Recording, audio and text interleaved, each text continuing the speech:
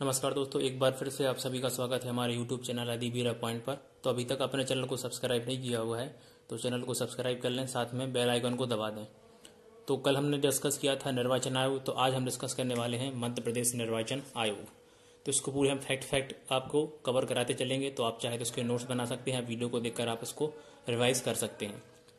तो चलिए स्टार्ट करते हैं। स्टार्ट करने से पहले बता दें, आप टेलीग्राम ग्रुप को ज्वाइन कर लें, जिसकी लिंक डिस्क्रिप्शन में दे रखी है। तो आज बात करने वाले हैं मध्य प्रदेश निर्वाचन आयोग की। तो देखेंगे इसका स्थापना कब हुई थी। तो इसकी स्थापना जो है, इसके दो फैक्ट हैं। एक तो इसकी अधिसूचना जारी हुई थी कब? अधिसूचना। आपको कंफ्यूज नहीं हो इसलिए बता रहा हूँ इसमें। इसकी जो अधिसूचना जारी हुई थी एक फरवरी उन्नीस सौ चौरानवे को। ठीक है, और इसका जो गठन हुआ था दोनों प्रश्न आपसे पूछ सकते हैं तो दोनों को याद रखना है। इसका जो गठन हुआ था पंद्रह फरवरी उन्नीस सौ चौरानवे को। तो ये दोनों याद रखना है कि देखिए, अधिसूचना जो जारी हुई थी, आपको दोनों जगह ये मिलेंगे तो इस कारण मिल रहे हैं, क्योंकि इसकी जो अधिसूचना जारी हुई थी राजपत्र के माध्यम से तो ये जो है, एक फरवरी उन्नीस सौ चौरानवे को इसकी अधिसूचना जारी हुई थी और स्थापना हुई थी पंद्रह फरवरी उन्नीस सौ चौरानवे से। मतलब इस दिन जो है, आयोग के सदस्यों ने कार्य करना चालू किया था, जो प्रथम इसके थे एनवी लोहानी। तो उनकी नियुक्ति हुई थी पंद्रह दो उन्नीस सौ चौरानवे को। पंद्रह दो उन्नीस सौ चौरानवे को उन्होंने कार्य करना प्रारंभ कर दिया था। आप इसको इस प्रकार से समझ सकते हैं कि भाई जब जैसे मान को चलिए कोई भर्ती निकलती तो उसकी एक विज्ञापन की तिथि होती है तो ये तिथि कर दी गई जब आपकी जॉब लग जाएगी तो ये गठन मतलब आप यहाँ से कार्य करना आपने चालू कर दिया। तो ये उसी प्रकार से है। तो आपको याद रखना है इसमें। बात करें इसके मुख्यालय की तो मुख्यालय सीधी पता है, सभी का भोपाल अधिकांशता रहता है तो इसका भी मुख्यालय कहाँ है? भोपाल में है। और किस प्रकार की संस्था है? तो इसका संविधान में वर्णन है। इसका संविधान कौन से में है? दो के में वर्णन है। तो इस प्रकार से क्या हो जाएगी? संवैधानिक संस्था हो जाएगी। संवैधानिक संस्था ये अपनी हो जाएगी। सदस्य कितना रहता है? तो ये एक सदस्य रहता है। एक सदस्यीय आयोग रहता है। इसमें केवल एक ही रहता है मुख्य एक सदस्य। एक सदस्य आयोग रहता है। लेकिन प्लस इसमें क्या है? एक सचिव भी रहता है इसकी सहायता करने के लिए। एक सचिव भी रहता है जो कौन रहता है? आईएस अधिकारी रैंक का अफसर होता है। तो एक सचिव की नियुक्ति भी की जाती है तो वही हम आगे देखेंगे इसमें। के बात करें तो इनकी नियुक्ति कौन करता है? तो इनकी नियुक्ति करता है क्योंकि राज्य की बात है तो राज्य में राज्यपाल करेगा इसकी नियुक्ति। कौन करेगा? राज्यपाल करेगा और पद मुक्ति कौन देगा? राज्यपाल नहीं दे पाएगा। जैसे निर्वाचन आयोग में नियुक्ति कौन करता था? राष्ट्रपति। लेकिन उसको हटाने का अधिकार राष्ट्रपति को नहीं था। इसी इसी प्रकार यहाँ पर राज्यपाल करेगा नियुक्ति, लेकिन हटाने का अधिकार राज्यपाल को यहाँ भी नहीं है। तो हटाएँगे कौन? वहाँ हटते थे सुप्रीम कोर्ट के मुख्य जज के समान। तो यहाँ हाई कोर्ट के जज के मुख्य जज के समान। हाई कोर्ट के जो चीफ जस्टिस रहेंगे, चीफ जस्टिस, उनके समान इसको हटाया जाएगा। यहाँ आप लिख देते हैं हिंदी में, हाई कोर्ट की जो है, हाई कोर्ट के मुख्य न्यायाधीश के समान। इसको हटाने की प्रक्रिया जो रहेगी, हाई कोर्ट के मुख्य न्यायाधीश के समान जो प्रक्रिया उनको रहती है, वही प्रक्रिया इनको भी रहेगी। तो दोनों इतने फैक्ट आपको याद हो गए हैं। इसको पहले हम रफ करेंगे, एक बार रिवाइज कर लें आप लोग। स्थापना कब हुई थी इसकी? स्थापना हुई थी अधिसूचना एक फरवरी उन्नीस सौ चौरानवे को। गठन हुआ था पंद्रह फरवरी उन्नीस सौ चौरानवे को। मुख्यालय कहाँ है? भोपाल में है। प्रकार कैसा है? संविधान प्रकार की संस्था है, क्योंकि संविधान दो की में वर्णन है। सदस्य, एक सदस्य है प्लस इसमें क्या है? एक सचिव होता है, जो इसकी सहायता के लिए होता है। किस किस रैंक का? तो आई अधिकारी रैंक का। नियुक्ति करेगा राज्यपाल, हटाएँगे कैसे? हाई कोर्ट के जज के समान, हाई कोर्ट के मुख्य जज के समान, अन्य जज नहीं, मुख्य जज के समान। तो इसको पहले यहाँ पर रफ करते हैं। तो देखेंगे अब अगले पॉइंट पर, अगले फिर हमने चार पाँच पॉइंट लिए हुए हैं। तो इसमें देखेंगे इसका ध्येय वाक्य क्या है। या इंग्लिश में बोलेंगे टैगलाइन तो आपको दोनों दे सकते हैं तो दोनों देख लेना। टैगलाइन बोलते हैं, ध्येय वाक्य भी। तो इसका क्या है? मध्य प्रदेश राज्य निर्वाचन आयोग का। इसका है, हर निकाय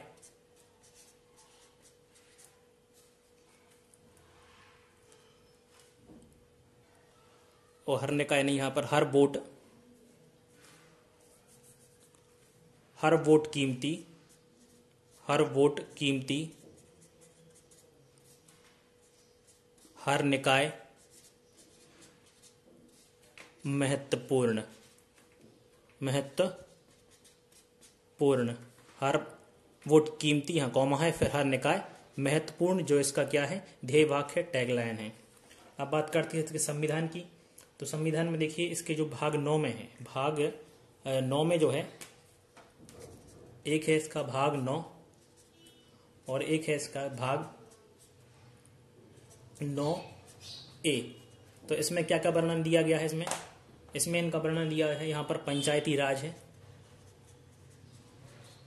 पंचायती राज, जिसका वर्णन 243 के में है। और यहाँ पर दी है नगरी निकाय। इन्हीं का ये चुनाव करवाता है नगरी निकाय। ये आपको मिलेंगे इसमें 243 से। यहाँ पर आपको दिख रहा है Z A Z A Z A तक इसका जो है। और बात करें कार्यकाल की तो इनका कार्यकाल रहता है छह वर्ष या फिर छियासठ साल, जो भी पहले हो जाए। जो भी पहले हो, वो इनमें कल आपको बताया था जो भी पहले मतलब कि छह तो छह वर्ष आयु पूर्ण कर लें या फिर वो छियासठ साल के हो जाए तो इसमें रहेगा। अब बात करते कार। कार तो पहला इनका कार्य रहता है कि पंचायतों के चुनाव करवाना। पंचायतों के चुनाव करवाना। पंचायतों के चुनाव की ज़िम्मेदारी किनकी रहती है? इनकी रहती है राज्य निर्वाचन आयोग की। दूसरा, ये नगरीय निकाय के चुनाव भी यही करवाते हैं। नगरीय निकाय के चुनाव आपसे प्रश्न में ऐसा पूछ सकते हैं कि निर्वाचन आयोग मध्यप्रदेश निर्वाचन आयोग नहीं, निर्वाचन आयोग का कौन सा कार्य नहीं रहता है? तो ये पंचायतों के चुनाव और जो नगरीय निकाय के चुनाव है, ये जो है निर्वाचन आयोग नहीं करवाता है। ये कौन करवाता है? तो ये मध्य प्रदेश निर्वाचन आयोग या जहाँ जहाँ जिस स्टेट में निर्वाचन आयोग है, वो वहाँ के निर्वाचन आयोग के चुनाव ये करवाता है। तो पंचायत के और इसके साथ नगरीय निकाय के चुनाव इनको अधिकार रहता है करवाने का। आप बात करें इसी में पंचायत तो पंचायत की व्यवस्था अपनी मध्य प्रदेश में किस तरह की पंचायती व्यवस्था है? तो त्रिस्तरीय पंचायती जो व्यवस्था है, उसके चुनाव की व्यवस्था भी यही करवाता है। त्रिस्तरीय त्रिस्तरीय पंचायत के चुनाव जो है, इसमें करवाता है। इसके अंदर नकली निकाय के चुनाव है, वो भी सारे आपके इसी, यही करवाता है। जहाँ कीजिए, हो जाए। इसके जो है, संविधान में कहा बात करी गई है? संविधान में जो है, पहले बात करते हैं इसके पंचायती चुनाव की जो, पंचायतों के चुनाव है, संविधान में कहा वर्णन है? तिहत्तर में संविधान संशोधन में जो है वर्णन है। तिहत्तर में संविधान में वर्णन है। तिहत्तर में संविधान में जो वर्णन है, तिहत्तर में पंचायतों का है और चौहत्तर में जो है, चौहत्तर में संविधान संशोधन में, चौहत्तर में संविधान में जो है नगरीय निकाय के चुनाव का वर्णन दिया हुआ है। तो यहाँ से आपको याद रखना है। वीडियो अच्छी लग रही तो दोस्तों शेयर ज़रूर कर दें और साथ में वीडियो को लाइक कर दें ताकि हमें मोटिवेशन मिल सके वीडियो को। से आपके लोग और अच्छा अच्छा लाने का प्रयास करेंगे। तो अभी वीडियो खत्म नहीं हुई है, वीडियो को पूरा देखना। इसको पहले रब करते हैं। तो अब इनके सदस्यों के देख लेते हैं। पहले प्रथम कौन था, वर्तमान में कौन है, सचिव कौन था, महिला सचिव, वर्तमान सचिव। तो प्रथम सचिव कौन थे इसके? तो प्रथम सचिव थे इसके N B Lohani. N B Lohani, जो इसके प्रथम सचिव थे। वर्तमान में बात करें तो वर्तमान में कौन है? बसंत प्रताप सिंह। बसंत प्रताप सिंह, बसंत प्रताप सिंह। कौन से नंबर के हैं? यदि नंबर पूछा जाए तो ये सिक्स नंबर के हैं। और इसके बाद प्रथम सचिव कौन थे? तो प्रथम सचिव अपने थे प्रकाश चंद्र। प्रकाश चंद्र, प्रथम सचिव तो। और प्रथम महिला सचिव, क्योंकि महिलाओं से बारे में काफ़ी पूछा जाता है तो आपको याद रखना है, प्रथम महिला सचिव कौन थी? तो विजया श्रीवास्तव। विजया श्री वास्तव, विजया श्रीवास्तव अब वर्तमान में सचिव कौन है? अब तक टोटल चार महिलाएँ जो है, आपको ये भी याद रखना फैक्ट यहाँ से, चार महिलाएँ जो है सचिव रह चुकी हैं, लेकिन कोई भी मुख्य आयुक्त जो है, निर्वाचन आयुक्त नहीं बनी है अभी तक। कोई भी महिला नहीं बनी है और मुख्य अभी चार तक महिलाएँ अभी तक रह चुकी हैं। वर्तमान में कौन है? तो वर्तमान में है दुर्ग विजय सिंह। दुर्ग विजय सिंह, ये अभी हमारे सचिव हैं। जो आपको पहले बताया था, जो पहले आई रैंक के अधिकारी होते हैं। और यदि इसके पहले बात करी जाए तो कौन थी? ये 2000 आपकी 20 के हैं, और इसके पहले हम 2019 के भी आपसे एग्ज़ाम में पूछ सकते हैं, क्योंकि करंट अफेयर में कुछ भी पूछ सकते हैं तो क्योंकि फीमेल भी हैं ये तो सुनीता त्रिपाठी। सुनीता त्रिपाठी 2019 की थी। लेटेस्ट जो अभी अपडेटेड है, वो है आपके दुर्ग विजय सिंह। तो याद रखना है सचिव। तो यहाँ से क्या क्या रखना है? प्रथम, एक बार रिवाइज करते हैं तो एनबी लोहानी थे आपके। वर्तमान की बात करें तो बसंत प्रताप सिंह है सिक्स नंबर के हैं, पूरा भी हम देखेंगे क्योंकि एक बार प्रश्न यहाँ से पूछ चुके हैं। प्रथम सचिव की बात करें तो प्रकाश चंद्र हैं, प्रथम महिला सचिव तो विजया श्रीवास्तव है, अभी तक चार महिलाएँ सचिव रह चुकी हैं, कोई भी महिला जो है अभी तक लेकिन मुख्य चुनाव निर्वाचन नहीं बनी है। वर्तमान की बात करें तो वर्तमान में दुर्ग विजय सिंह जो है, वर्तमान के हैं 2020 में 2019 की कौन है? सुनीता त्रिपाठी। तो इस क्वेश्चन से यहाँ पर आपको इतना याद रखना है। अब हम देखते हैं अभी तक जो छह बन चुके हैं, क्योंकि पीएससी ने एक बार प्रश्न पूछा था कि इनमें से कौन से निर्वाचन आयोग के सदस्य नहीं हैं। तो केवल अभी तक छह बने हैं तो हम उन छह नामों को एक बार फिर से देख लेते हैं कौन कौन रहे हैं कौन कौन नहीं रहे, क्या कार्यकाल रहा है तो उनको भी हम देखते हैं। तो ये हैं आप लोगों के छह जो निर्वाचन आयुक्त अभी तक रह चुके हैं। क्योंकि आपके पीएससी के प्रीवियस पेपर आप देखेंगे 18 या 19 का, उसमें आपको ये प्रश्न देखने मिलेगा। इसमें से छह नाम एक चार ऑप्शन थे आपके पेपर में। चार ऑप्शन थे, उसमें से तीन इन्होंने इसी उठाए थे और एक इनमें से नहीं थे। तो प्रश्न आया था कि इनमें से कौन मध्य प्रदेश के निर्वाचन आयुक्त नहीं रहे हैं?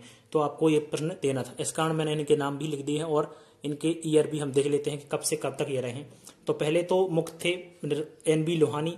तो वैसे ही बता था कि देखिए, पंद्रह दो से इन्होंने काम करना चालू करा था उन्नीस सौ चौरानवे से। तो ये रहे थे हमारे कब तक? सोलह दो दो हज़ार तक। इन्होंने यहाँ तक काम करना चालू करा था, प्रथम थे तो पंद्रह दो से चौरानवे तक से सोलह दो दो हज़ार तक चालू करा। फिर गोपाल चरण शुक्ल जी आए तो इन्होंने सोलह दो से, दो हज़ार से कब तक काम किया, चौदह आठ दो हज़ार छ तक। दो हज़ार छ तक इन्होंने काम करना चालू किया, दो हज़ार छ तक। दिख रहा है बोर्ड में?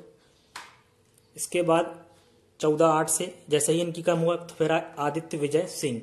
आदित्य विजय सिंह ने कब से कहा, चालू करना चालू करना? चौदह आठ से, दो हज़ार छ से। इन्होंने कहा, जैसे जैसे इनका कहा देखिए, यहाँ खत्म हुआ, ये चालू हो गए। यहाँ खत्म हुआ तो ये चालू हो गए। तो इन्होंने कहा, दस बारह, दो हज़ार दस तक काम चालू। अब दस बारह, दो हज़ार से, फिर आए अजीत राय ज़्यादा ये दोनों एक नाम है, अजीत राय ज़्यादा दस बारह, दो हज़ार दस से कब तक? तीस नौ दो हज़ार तेरह तक ही आए। उसके बाद बीच में गैप रहा तो एक दस से सीधे। अगले डेट से स्टार्ट हुए दो हज़ार तेरह से। इकतीस बारह दो हज़ार अठारह तक। कौन आ गए? आर परशुराम। और वर्तमान में जो है, अभी हमारे 2021 के, ये हैं। ये एक एक 2019 से अब तक मतलब वर्तमान में हैं। अभी तक ये कंटिन्यू अभी इनका कार्यकाल चल रहा है। तो ये आपने यहाँ से देख लिया कि कौन कौन रहे। पहले लोहानी रहे, फिर गोपाल चरण शुक्ल, फिर विजय सिंह, अजीत राय जादा परशुराम, बसंत प्रताप सिंह। तो यहाँ से आपको यहाँ के नाम याद रखना है और सिक्वेंस भी याद रख लेना है कि लोहानी आए, फिर चरण शुक्ल आए, विजय सिंह, रायजादा, परशुराम, बसंत प्रताप सिंह। टोटल छह हैं अभी तक, छठवें नंबर के हैं बसंत प्रताप सिंह। कार्यकाल भी इनका याद रखना है। तो देखा जाए तो वैसे कार्यकाल सबका जान सबसे ज़्यादा लगभग इन्हीं का रहा है। छह साल पूरा इन्होंने कंप्लीट करके रखा है। गोपाल चरण सुकने और एन बी लोहान ने चौरानवे से दो हज़ार। तो इनका भी कार्यकाल लगभग छह वर्ष पूरा रहा है। यदि पूछा जाए तो इन्होंने केवल चार वर्ष रहा है लगभग, इनका तीन वर्ष रहा है। इनका पाँच वर्ष रहा है और ये भी वर्तमान में चल ही रहे हैं। तो देखा जाए तो सबसे अधिक कार्यकाल जो है लोहानी और गोपाल चरण शुक्ल का रहा है। सबसे कम अभी तो वैसे तेरह इनका है इनका पता, अभी लगभग तीन साल इनके भी हो गए।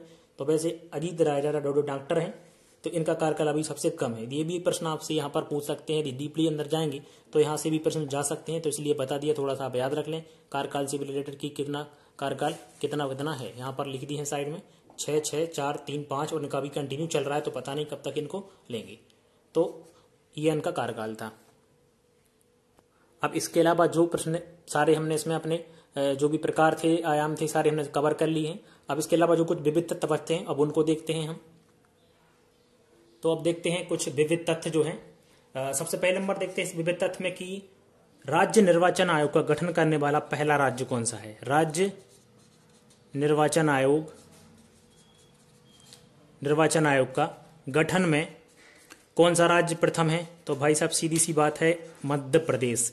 सबसे प्रथम जो है हमारे देश में राज्य निर्वाचन आयोग गठन करने वाला कौन सा राज्य है? तो मध्य प्रदेश है। अब बात करें मध्य प्रदेश में जो है ईबीएम का उपयोग कब हुआ था? तो उन्नीस में हुआ था। तो ये तीन राज्यों में हुआ था। एमपी में, दिल्ली में और राजस्थान में। ये तीनों राज्यों में ईबीएम का प्रयोग उन्नीस में हुआ था। और कल हम मामला आपको पहले बताया था कि ईवीएम ईवीएम का आविष्कार जो है 1980 में एम बी हनीफा ने करा था। एम बी हनीफा ने करा था और सबसे प्रथम यूज़ कब हुआ था? अस्सी में बनी थी। दो साल बाद उन्नीस सौ बयासी में केरल की विधानसभा में इसका यूज़ हुआ था। फिर बीबी पैट का बताया था हमने। बीबी पैट का जो है बीबी पैट का दो हज़ार तेरह में स्टार्ट हुई थी। तो कहाँ हुई थी? नागालैंड के, नागालैंड में ये इसका यूज़ हुआ था बीबी पैट का और ईबीएम का केरल में हुआ था, परावर विधानसभा में और तेरह में बीबी पैट का नागालैंड में। इसके बाद और कुछ विविध फैक्ट हैं तो देखते हैं वो कौन सा है। इसका जो है, हमारा मुख्यालय तो भोपाल में है लेकिन भोपाल में कहाँ पर है? तो इसको कहते हैं निर्वाचन भवन निर्वाचन भवन, अंठावन अरेरा हिल्स, अरेरा हिल्स, भोपाल। तो ये पूरे इसके मुख्यालय का जो नाम है, आपसे पूछ सकते हैं ये भी अरेरा निर्वाचन भवन अरेरा हिल्स, भोपाल। अब ये है तो इसका उद्घाटन भी हुआ हुआ कभी तो इसका जो उद्घाटन किसने करा था? पहले इसका शिलान्यास हुआ था। शिलान्यास किसने करा था? शिलान्यास। तो इसका शिलान्यास देखिए। शिलान्यास जो है इनका, कब हुआ था हमारा उन्नीस सौ पंचानवे, बारह जनवरी उन्नीस सौ पंचानवे। तब कौन थे हमारे यहाँ के राष्ट्रपति? उनने करा था। तो सब राष्ट्रपति कौन थे? शंकर दयाल शंकर दयाल शर्मा। शंकर दयाल शर्मा ने जो है इसका शिलान्यास करा था। अब इसका करा था उद्घाटन। ये तो शिलान्यास कर दिया था फिर इसका हुआ था उद्घाटन। तो उद्घाटन किसने करा था? उद्घाटन करेंगे हमारे यहाँ के राज्यपाल। तो राज्यपाल कौन थे तत्कालीन? ये हुआ था आपका उन्नीस सौ पंचानवे में तो दो साल बाद उन्नीस में इसका हुआ था उद्घाटन। किसने करा था तत्कालीन हमारे राज्यपाल? राज्यपाल यहाँ पर थे शंकर दयाल शर्मा, कौन थे? राष्ट्रपति थे ये। ये थे राष्ट्रपति। और यहाँ करा था हमारा शंकर दयाल शर्मा ने। यहाँ थे हमारे मोहम्मद रफी। मोहम्मद रफी क्या थे? मध्य प्रदेश के तत्कालीन राज्यपाल थे। तो इन्होंने इनका उद्घाटन करा था। और उन्नीस सौ में, में कब करा था? तो ये मध्य प्रदेश का जो स्थापना दिवस है एक नवंबर। एक नवंबर के दिन इन्होंने जो है इसका उद्घाटन करा था। और 12 जनवरी को इन्होंने 12 जनवरी को कौन सा दिवस मनाते हैं तो आप सभी को मालूम होगा। कमेंट करके बताएँ 12 जनवरी को हम कौन सा दिवस मनाते हैं। आप लोगों से ही संबंधित कोई दिवस है। तो वो आपको कमेंट करके बताना कि 12 जनवरी को हम कौन सा दिवस मनाते हैं। और इसका शिलान्यास किसने करा था? तो संख्या दल शर्मा कौन थे? राष्ट्रपति थे। उद्घाटन करने करा था? राज्यपाल ने, जो कि तत्कालीन राज्यपाल कौन थे? मोहम्मद रफी मध्य प्रदेश के थे, उन्नीस सौ संतानवे पंचानवे में क्या हुआ था? शिलान्यास संतानवे में क्या हुआ था? उद्घाटन। इसके अलावा जो कुछ ऐप भी हैं, ऐप ऐप ही बनाए गए थे। कौन सा ऐप बनाया गया है चुनाव में? सहायता के लिए तो ये चुनाव नाम से ही एक ऐप बनाया गया है। चुनाव। तो ये आपको याद रखना है चुनाव। चुनाव का ऐप बनाया गया है और एक ऐप और है सी विजल। ये पूरा निर्वाचन आयोग के द्वारा बनाया गया है C vigil. C vigil app.